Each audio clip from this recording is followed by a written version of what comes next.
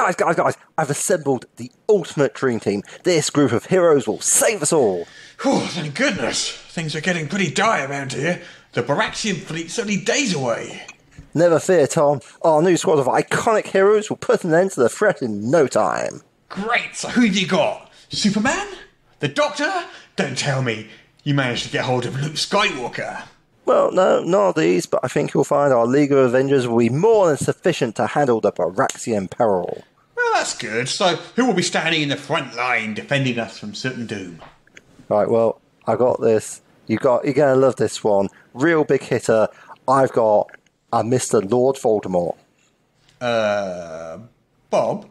Yeah. Standing alongside Kylo Ren, Hannibal Lecter, and that Norse legend, Loki. Bob? And like for the lower tiers, providing some important support, thinking and logistics, we've got the Joker, Hans Gruber, and the Sheriff of Nottingham. Bob? So as you can see, we're in very safe hands. Bob? What is it, Tom? Bob? They're, they're all bad guys. What? What do you mean? I mean, they're all evil, double crossing, murderous villains. What? Even Jabba the Hutt? Especially Jabba the Hutt.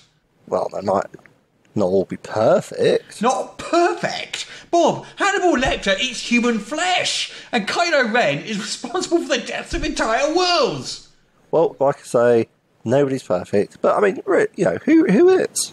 Bob, you have a legion of Daleks here.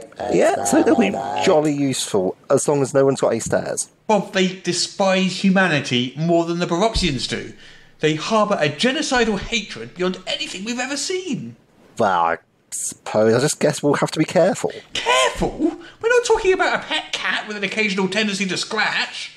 The Balrog here is an infernal creature of fire and shadow. He's evil incarnate.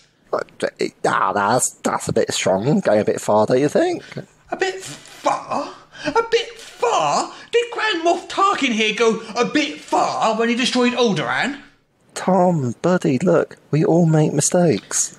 Look, the T1000 here is a remorseless killing machine. It can't be bargained with. It can't be reasoned with. It doesn't feel pity or remorse or fear, and it absolutely will not stop ever until you are dead. Well, I'm glad it's on our side then.